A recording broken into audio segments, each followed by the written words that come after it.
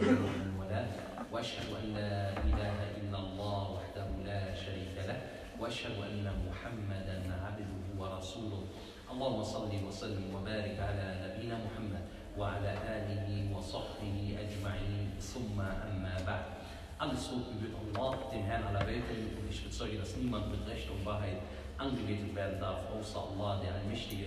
Und ich bezeuge, dass Muhammad sallallahu alaihi wasallam sein Diener und Gesandter ist. Alhamdulillah Rabbil Alamin.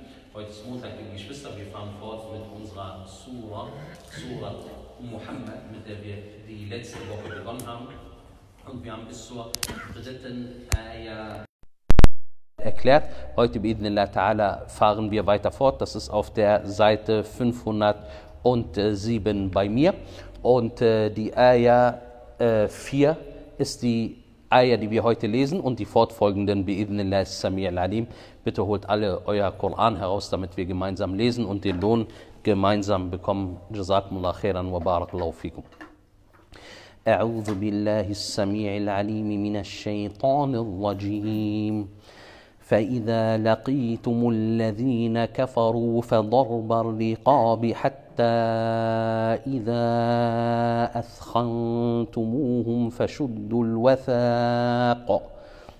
فإذا لقيتم الذين كفروا فضرب الرقاب حتى إذا أثخنتموهم فشدوا الوثاق فإما منا بعد وإما فداء حتى تضع الحرب أوزارها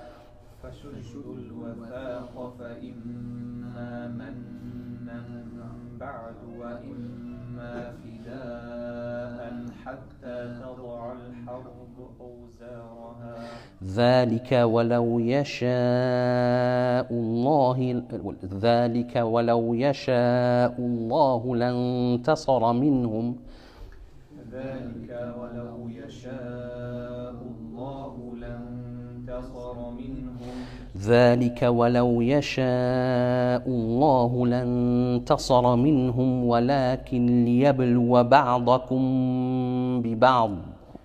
ذلك ولو يشاء الله لانتصر منهم ولكن ليبلو بعضكم ببعض والذين قتلوا في سبيل الله فلن يضل أعمالهم.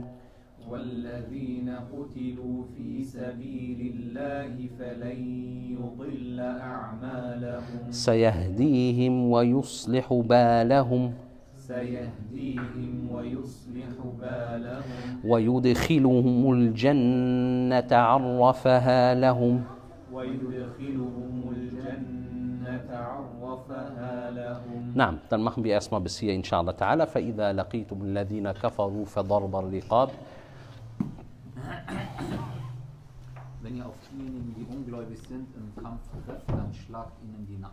Na, Allah subhanahu wa ta'ala berichtet hier über eine Kriegssituation. Allah azza wa jal berichtet hier über eine Kriegssituation. Und nicht jede Situation ist eine Kriegssituation.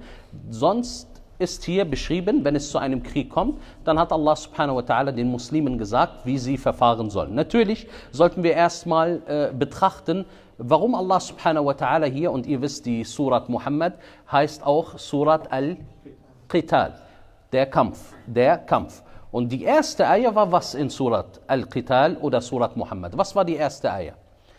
Alladhina kafaru wasaddu an sabilillah. Diejenigen, die ungläubig sind, Glaubensverweigerer sind und vom Wege Allahs abgehalten haben. Das heißt, wenn die Muslime ständig davon abgehalten werden, ihre Religion zu praktizieren und sie aufgrund ihrer Religion bekämpft werden, getötet werden, was bleibt ihnen anderes übrig als der Kampf? Und deswegen hat Allah subhanahu wa ta'ala, yarhamukullah, deswegen hat Allah subhanahu wa ta'ala dann den Muslimen das im Kampf mitgegeben, dass sie die Kuffar hart bekämpfen sollen. Denn das passiert nicht ohne äh, weiteres, sondern ihr solltet wissen, liebe Geschwister, die Religion des Islam ist keine Religion der äh, äh, des Terrors oder der Religion, die Leute einschüchtern wollen oder terrorisieren wollen oder bekämpfen wollen oder sie unterdrücken wollen. Im Gegenteil.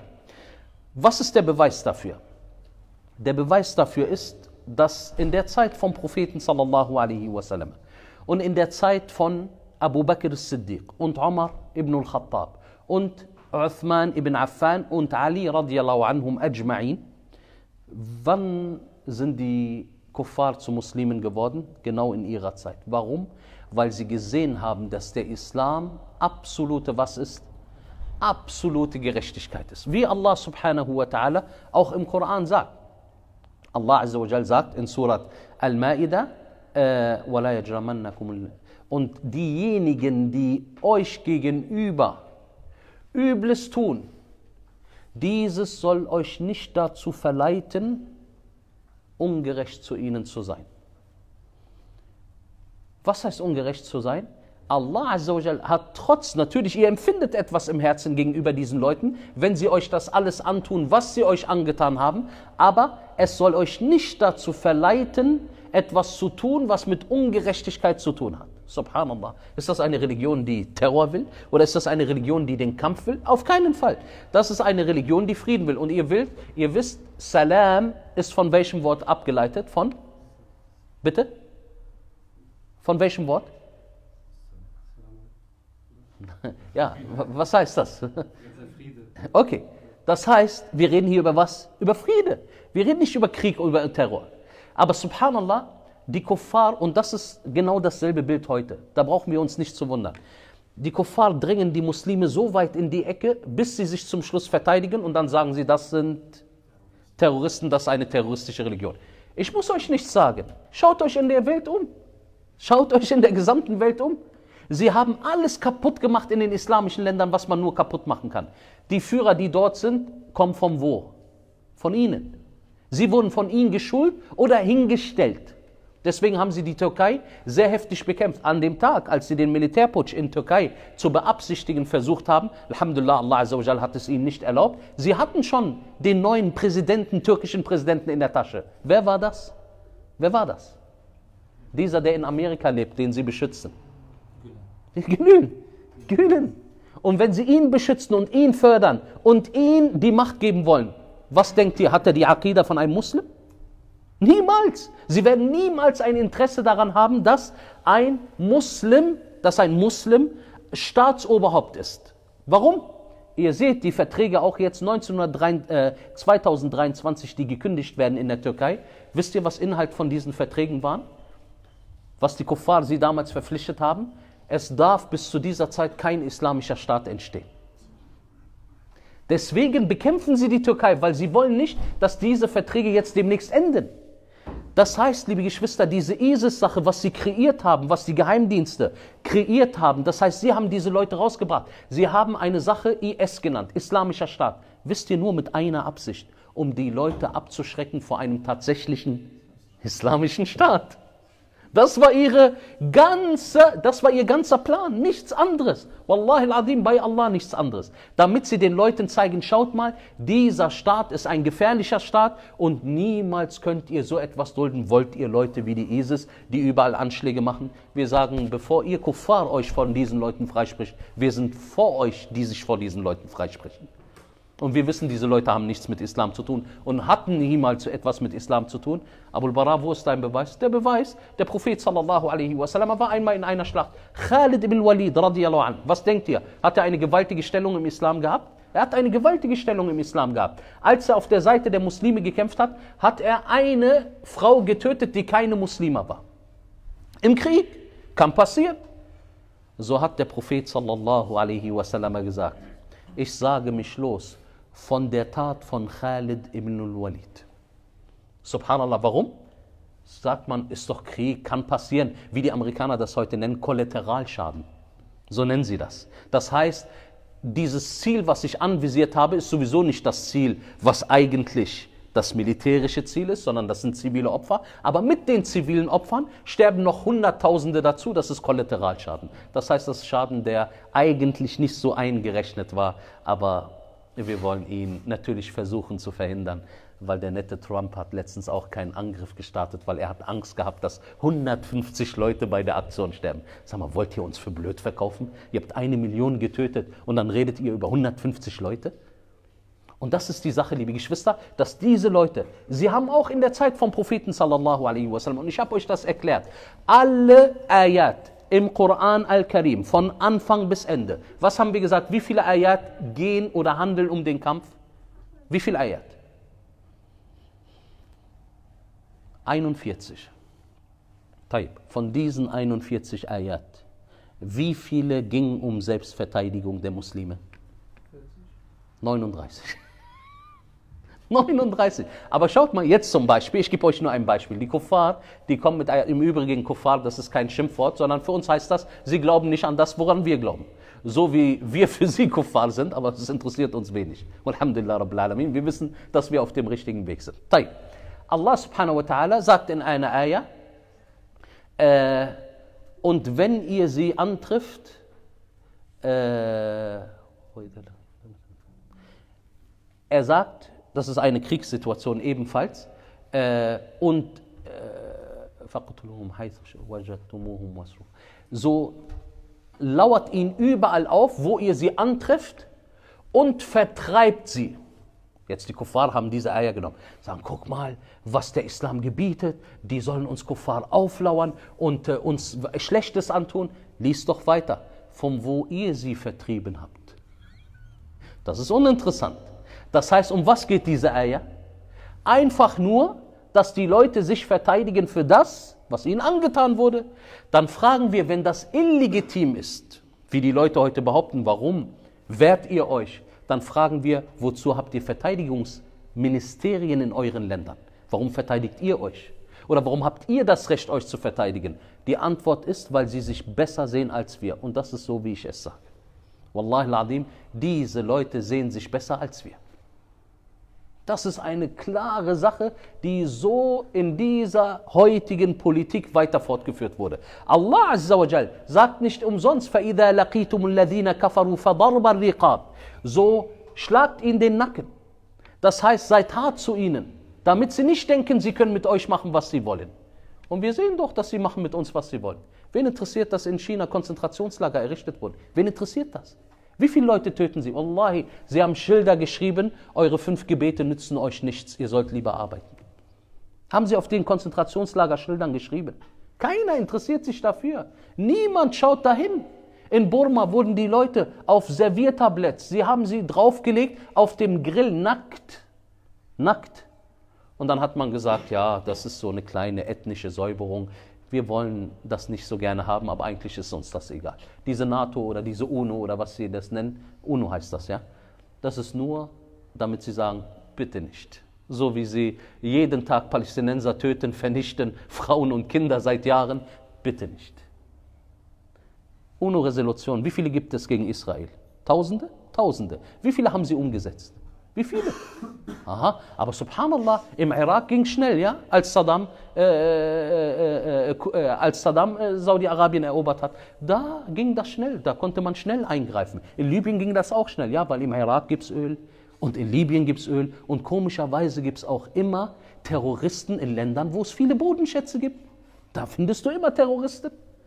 Weil die gehen nur in Ländern, wo es Bodenschätze gibt. Und am besten, sie sitzen noch da drauf auf dem Deckel, wo die Bodenschätze drunter sind damit sie die dann letztendlich bombardieren. Deswegen, ja, Ikhwa, Allah Azza wa hat uns alles über die Kuffar gesagt, wer sie sind und was sie machen und was ihre Bestrebungen sind. So, wenn ihr im Krieg gegen sie seid, dann schlagt ihnen den Nacken. Hatta idha athkhantumuhum.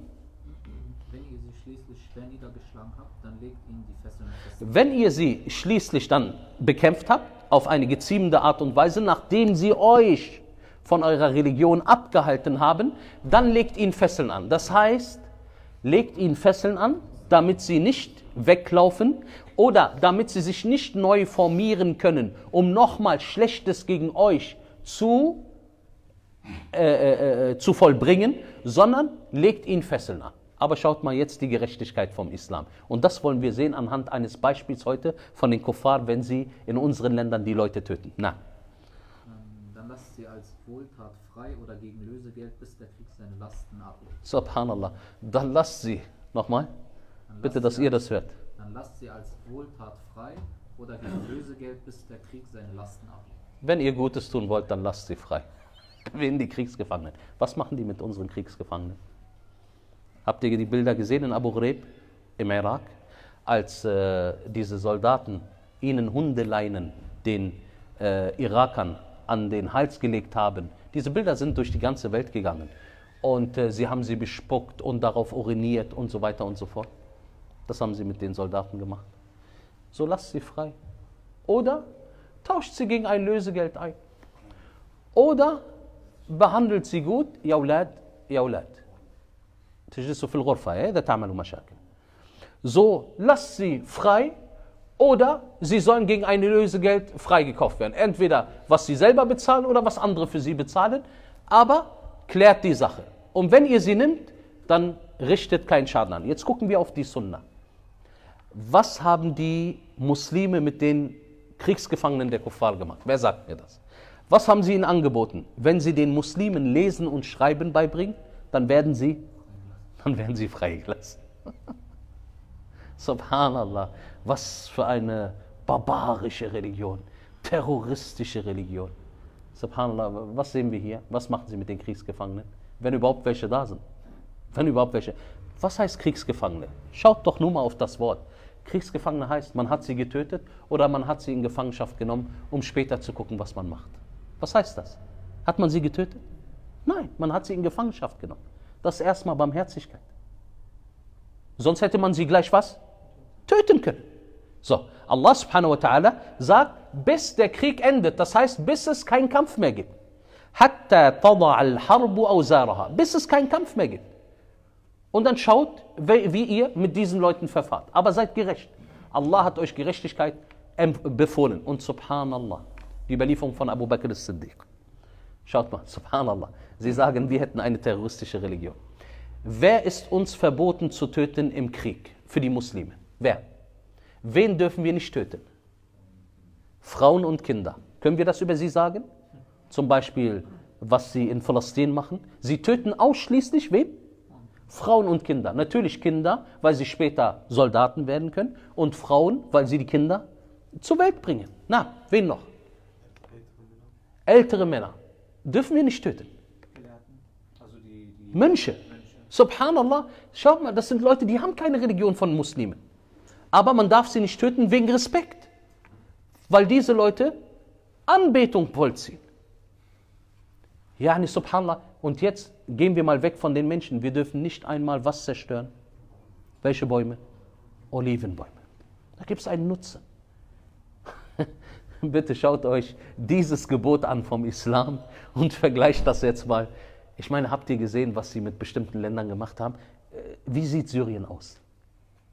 Wie sieht Syrien aus? Sagt mir mal bitte. Wenn du raufschaust, denkst du, da war eine Atombombe, die ist in die Luft gegangen und da ist nichts mehr übrig geblieben. Wie viel haben, hat man jetzt getötet in Syrien? Wie viele? Über eine Million. Bitte, da sagte man, ja, das geht jetzt so weit, dass Assad, äh, wie heißen diese Waffen? Chemiewaffen einsetzt. Schaut mal, das geht so weit, ja. Wenn man durch konventionelle Bomben getötet wird, das ist in Ordnung. Aber die chemischen Waffen sind zu viel. Ich meine, im Ergebnis, was ist was? Ist was? Beides ist der Tod. Ob du durch konventionelle Waffen stirbst oder durch chemische Waffen stirbst. Nee, da machen wir einen Unterschied. Das ist zu grausam. Allahu Akbar. 30 Tonnen über ein Haus ist nicht grausam? 200 Tonnen über ein Haus ist nicht grausam? Phosphor ist nicht grausam? Und daher, liebe Geschwister, wisset, die Muslime haben niemand anderen als Helfer außer, außer Allah Azza wa وَمَنْ نَصْرُ إِلَّا مِنْ عِنْدِ اللَّهِ der, der Sieg ist nur von Allah subhanahu wa ta'ala. Allah Azza wa sagt, فَشُدُّ الْوَثَاقِ فَإِمَّا بَعْدُ مَنًّا وَإِمَّا فِدَاءً حَتَّى تَضَعَ الْحَرْبُ أَوْزَارَهَا Dies soll so sein und wenn Allah wollte, würde er sie wahrlich allein besiegen. Nein, wenn Allah wollte, jetzt eine Frage an euch, ist Allah allmächtig? Braucht er die Muslime, damit er die Kuffar besiegt? Könnte er sie alle in einer nicht mal Millisekunde vernichten?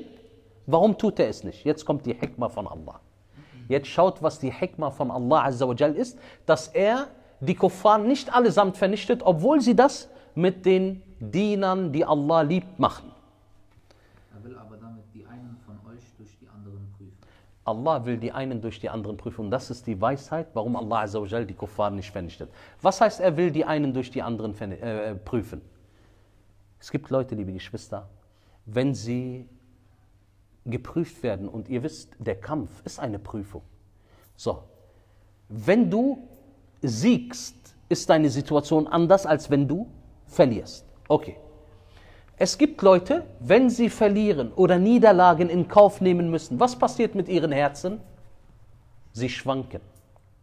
Sie wollen dann lieber auf wessen Seite gehen? Auf die Seite der Gewinner. Obwohl diese Leute die falsche Religion haben.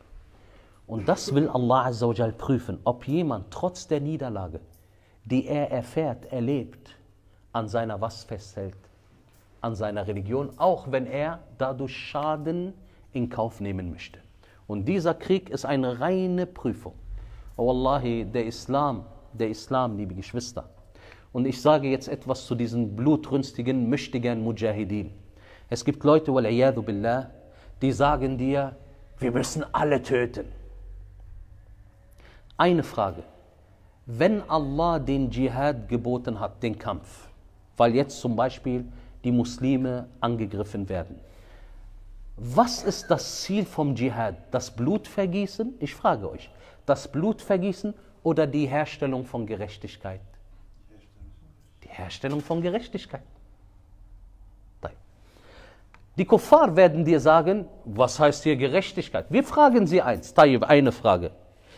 Wenn ihr die ISIS-Leute, die ihr selber in, hochgebracht habt, äh, wie nennt man das? Aufgezogen habt, wenn diese Leute so viele Anschläge machen, was macht ihr jetzt mit ISIS? Was machen sie mit ihnen? Sie bekämpfen sie. Ach so, bei euch ist das in Ordnung. Dann fragst du, warum bekämpft ihr sie? Wir wollen was wiederherstellen? Gerechtigkeit. Ach, subhanallah. Aber wenn äh, die Kuffar die Muslime terrorisieren, dann ist das nicht Gerechtigkeit, sondern dann ist das Terror, wenn sie sich, äh, äh, wenn sie sich wehren. So sind die Sachen. So sind die. Du fragst die Kuffar, warum bekämpft ihr ISIS? Wir wollen nicht, dass diese Leute Übles anstellen. Ja? Und wenn die Muslime nicht wollen, dass ihr Übles anstellt, seid ihr auch dabei? Antwort, Antwort nein. Das ist nur für uns, weil wir sind die bessere Rasse und die besseren Menschen. Subhanallah. Wir sagen, ihr seid Masakin, Wallah al-Adim, ihr seid Masakin, ihr seid Leute, die Kibber in ihren Herzen haben, hochmütig sind und ihr wollt nicht eine Gleichstellung der Menschen, sondern ihr wollt, dass die einen über die anderen stehen. Und guckt mal, Subhanallah, der Islam. Wie ich gesagt habe, in der Zeit der vier Khulafa sind die meisten zum Islam übergetreten. In dieser Zeit, wie in dieser Zeit, ja. Die haben den Islam angenommen. Sie waren unter einer islamischen Obrigkeit, unter einem islamischen Staat und haben den Islam angenommen. Nur ein Beispiel. Omar ibn al-Khattab radiallahu an, war in seiner Zeit Khalif. Khalif. Und äh, der Sohn von Amr ibn al-As hat an diesem Tag äh, ein äh, Wettrennen mit, mit Pferden gegen einen Juden gemacht. Der Jude hat ihn besiegt. Was hat der Sohn gemacht von Amr ibn an? Er hat ihn dann geschlagen. Ungerechterweise. Dann ist dieses zu Ohren von Omar ibn al-Khattab gekommen. Dann hat er seinen Vater und seinen Sohn beide bringen lassen. Dann hat er ihm gesagt, was hast du getan? Er sagte, ich habe den Juden geschlagen, weil er hat mich besiegt. Dann hat Omar ibn al-Khattab den Juden erlaubt, dass er den Sohn von Amr ibn, äh, al-As vor seinen Augen schlägt. Warum? Weil er ungerecht war. Subhanallah, bringt BZ solche Beispiele? Bringen Sie solche Beispiele? Ja, Ikhwa, Wallahi, diese Leute waren gerecht. Deswegen haben die Leute den Islam angenommen in ihrer Zeit. Die Leute haben den Islam angenommen, scharenweise. Sie haben erkannt, darin ist Gerechtigkeit. Das ist nicht so, dass man diesen Leuten einfach etwas Übles antun wollte. Nein, in diesem Staat herrschte Gerechtigkeit. Omar ibn al-Khattab anh, in seiner Zeit, die Überlieferung ist durch Shawahid Hassan, wie manche Hadith-Gelehrte sagen. Er ging in seiner Zeit, dann hörte er einmal, äh, dann hörte er einmal äh, Kinder schreien. Dann kam er rein in das Haus und bat die Frau um Erlaubnis, dass er dieses Haus betritt. Er sagte zu ihr, warum schreien deine Kinder? Sie sagte, sie sind todhungrig. Sie können nicht mehr diesen Hunger aushalten. Er sagte, und was machst du? Was tust du da? Das heißt am Herd, äh, indem du etwas erhitzt. Sie sagte, ich tue so, als ob ich ihnen etwas zu essen mache und hoffe dabei, dass sie einschlafen, damit sie den Hunger vergessen. Omar hat angefangen zu weinen, radiallahu anh. Dann ist er rausgegangen mit seinem Diener und ist zu Beitul Mal gegangen, zur Staatskasse, und hat von dort ihre Proviant für eine lange Zeit geholt. Und er hat das auf dem Rücken getragen. Dann hat der Diener ihm gesagt, ja Amir al-Mu'minin, es geziemt sich nicht für so einen Menschen wie dich, dass du das auf den Rücken trägst. Er sagte, Wallahi, Allah wird mich darüber Yawmul Qiyamah befragen, ob irgendeiner in meinem Volk gehungert hat. Das sind die üblen Leute? Das sind die Leute, die ungerecht sind? Guckt mal unsere Präsidenten oder Führer heute. Werden sie sich kümmern, wenn einer tot? Wallahi, Umar ibn al-Khattab, radiallahu anh. Umar ibn al-Khattab. Er hat draußen gelegen und hat auf seinen Schuhen geschlafen. Auf seinen Schuhen geschlafen. Überlegt mal, draußen alleine. Er war Amir al-Mu'minin, Khalif. Khalif. Dann kam einer und wollte mit dem Khalifen sprechen. Die haben ihm gesagt, wo ist euer Khalif? Ich habe ihn zu Hause nicht an, angetroffen. Sie sagten, guck, da liegt er unter dem Baum. Er sagt, euer Khalif liegt unter dem Baum, unter den Schuhen. Er hat die Schuhe als Kopfkissen genommen und darauf geschlafen. Eine Frage, wird ein Präsident heute alleine draußen schlafen? Wallahi, er bringt den Müll nicht alleine runter, weil er weiß, was er an Ungerechtigkeit gemacht hat. Schaut mal, er liegt ganz ruhig, seelenruhig da. Warum? Hat er sich was vorzuwerfen? Er hat sich nichts vorzuwerfen. Deswegen ist er seelenruhig. Aber diese Leute, diese Shayatin, möge Allah subhanahu wa ta'ala sie vernichten, alles, was sie gegen die Muslime machen und den Kuffar helfen. Diese Leute, schaut mal, was sie machen. Sie sagen dir, wir brauchen eine ganze Armee, wenn wir nur einkaufen gehen. Stimmt? Die brauchen eine ganze Armee. Und bevor sie, es gab Präsidenten, bevor sie überhaupt rausgegangen sind, haben sie erstmal einen Rundgang gemacht durch die ganzen Häuser, um zu sehen, ob es jemanden gibt, der eventuell etwas gegen sie vornehmen will. Was ist das für ein Leben?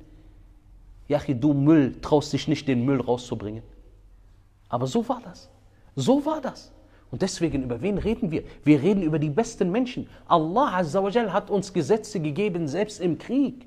Nicht, dass wir machen, was wir wollen. Allah subhanahu wa ta'ala sagt uns, dass wenn wir im Krieg sind, dass wir, äh, das ist jetzt etwas schwer zu übersetzen, äh, so seid nicht maßlos beim Kampf. Was heißt maßlos beim Kampf? Die Gelehrten haben das erklärt. Das heißt, dass du jemanden zum Beispiel beim Kampf den, die Hoden abschneidest. Oder dass du mit dem Messer so einfach in seinem Körper rumwuchtelst und dies und das. Bitte schauen wir uns mal die Bilder an. Was haben die Soldaten mit unseren muslimischen Leichen gemacht? Was haben sie damit gemacht? Umstellt.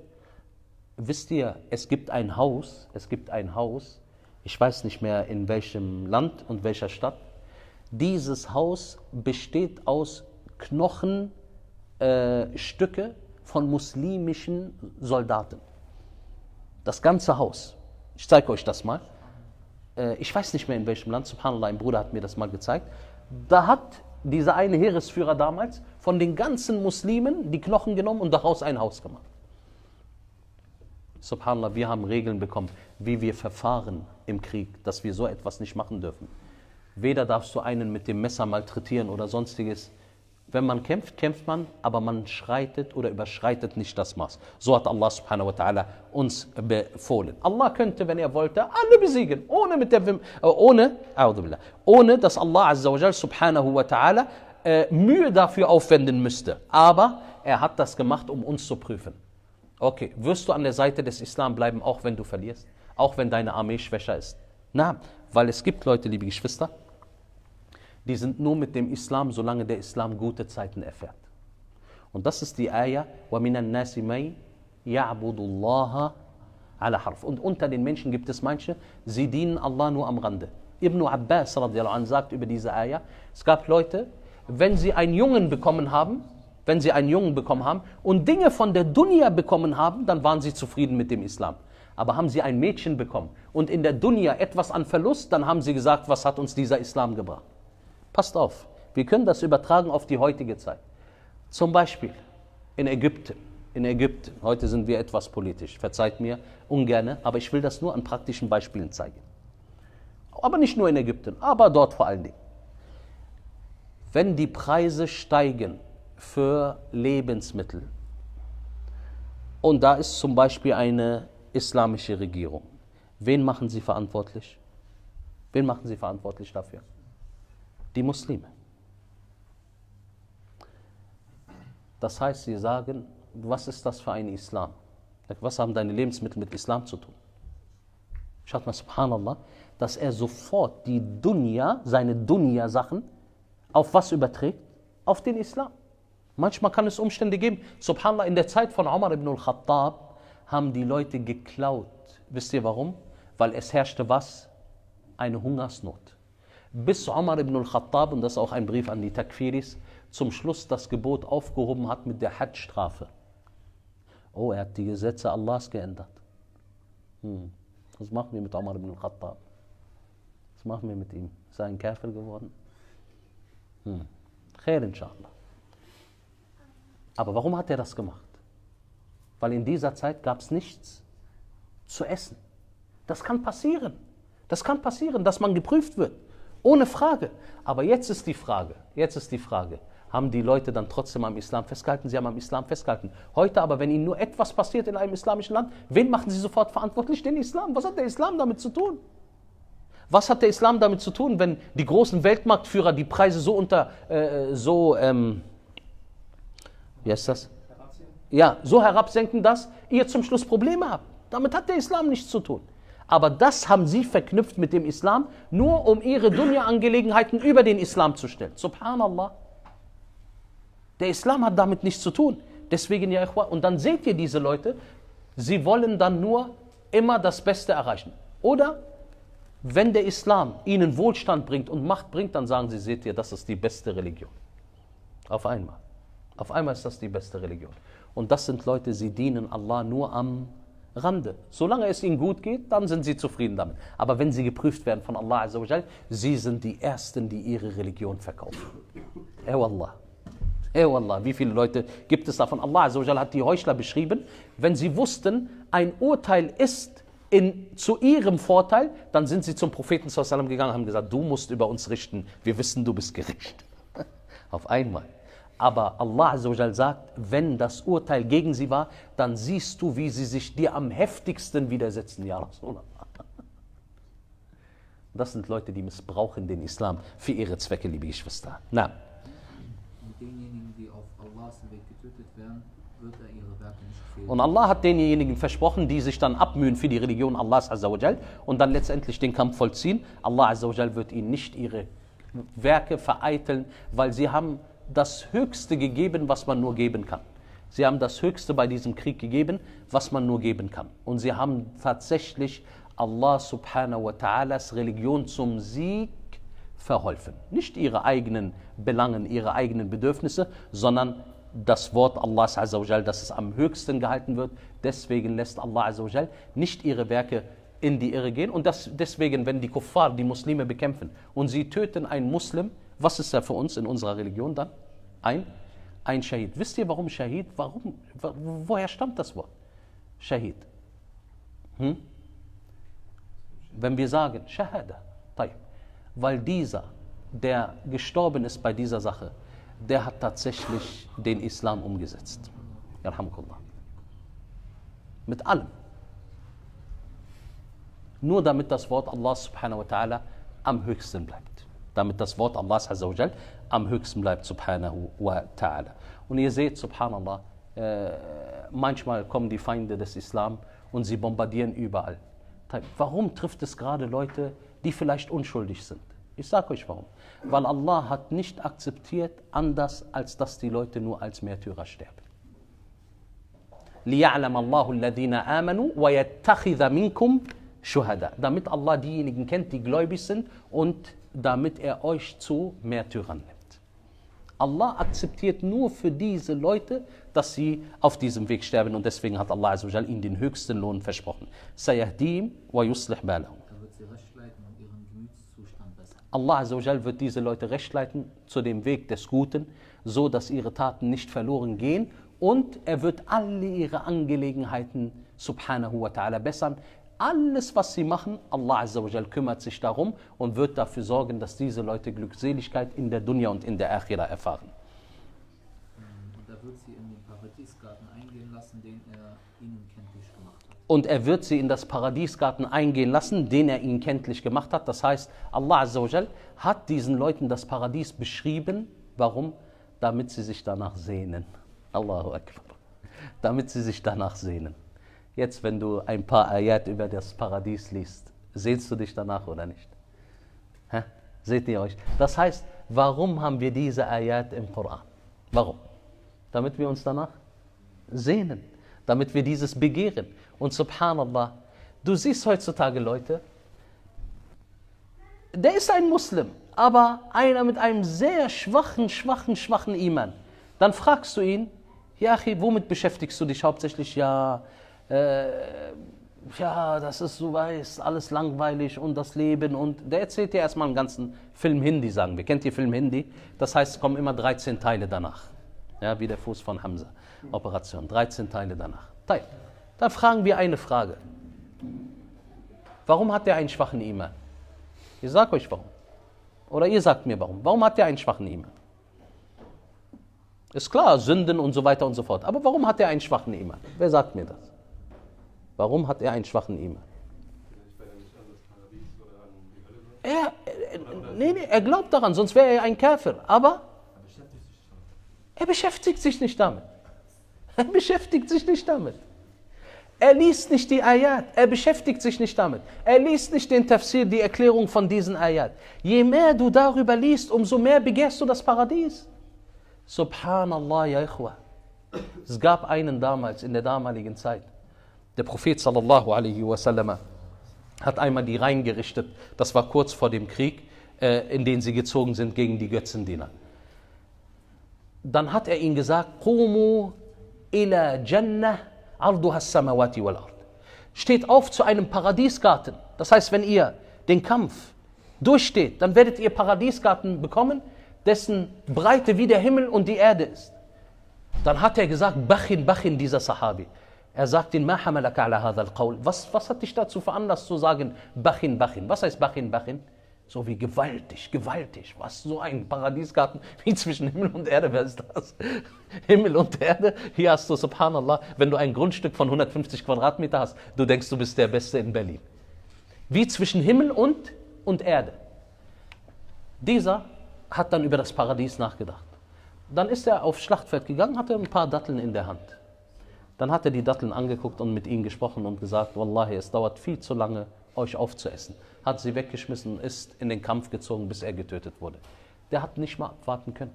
Warum? Diese Leute wussten, was die Stellung vom Paradies ist. Wussten, was die Stellung vom Paradies ist. Deswegen, Allah Azza wa Jal hat uns das Paradies kenntlich gemacht, damit wir uns danach sehen. Stellt euch vor, Allah hat uns nichts über das Paradies gesagt. Was würde, ich meine jetzt die ganzen äh, Ayat, die ganzen äh, äh, Verse über das Paradies, die ganzen Hadith über das Paradies. Du liest zum Beispiel eine Huril Ain, eine Paradiesjungfrau. Wie sind sie? Als ob sie Perlen wären, Korallen wären, Rubine wären. Allahu Akbar.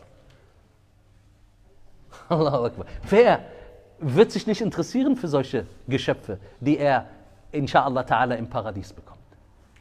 Wer wird sich nicht interessieren dafür, dass Allah subhanahu wa ta'ala ihn im Paradies nur das Angenehmste verschaffen wird? Einer wird im Paradies nicht arbeiten wie hier. Da gibt es auch kein Hartz IV. Alle sind reich.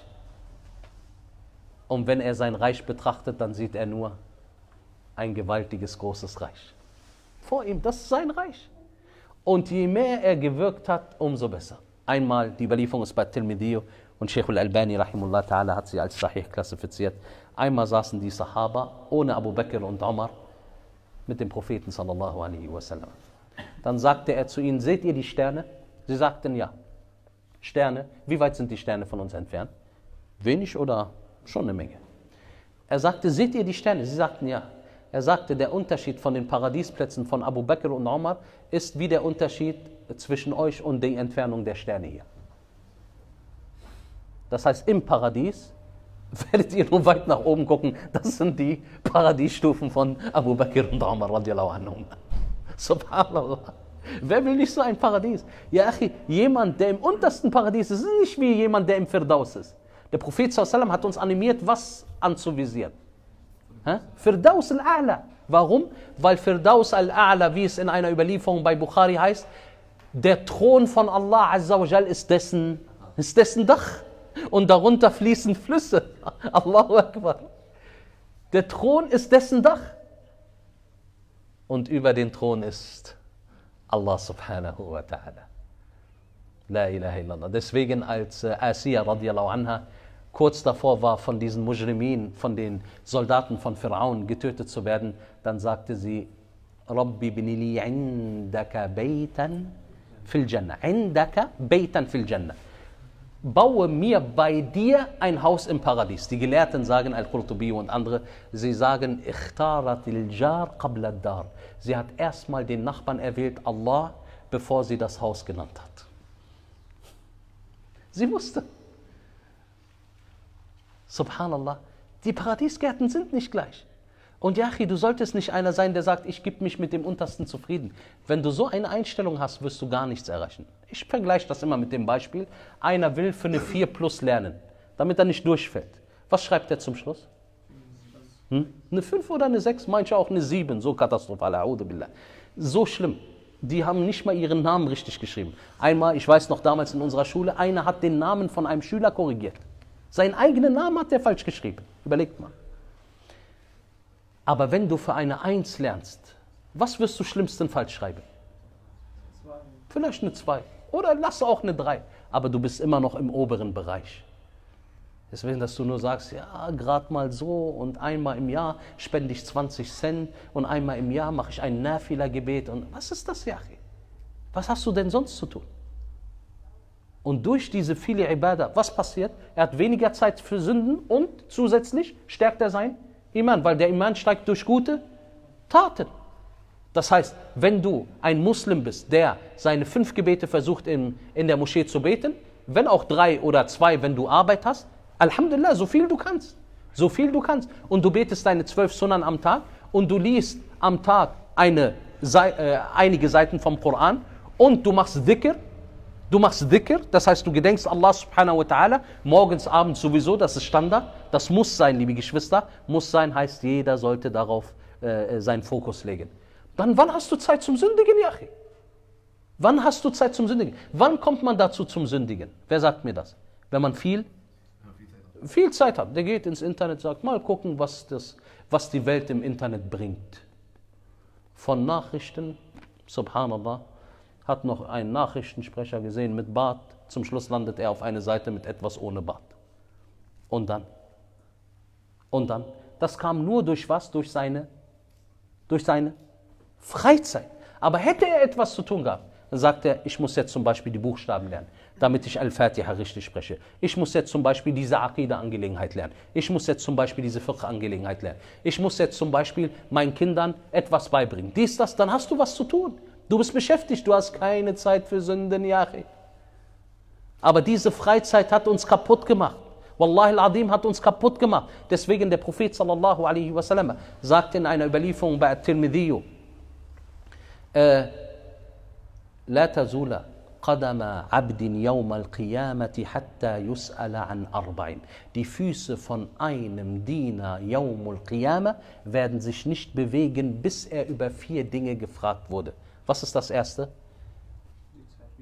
An umrihi fima.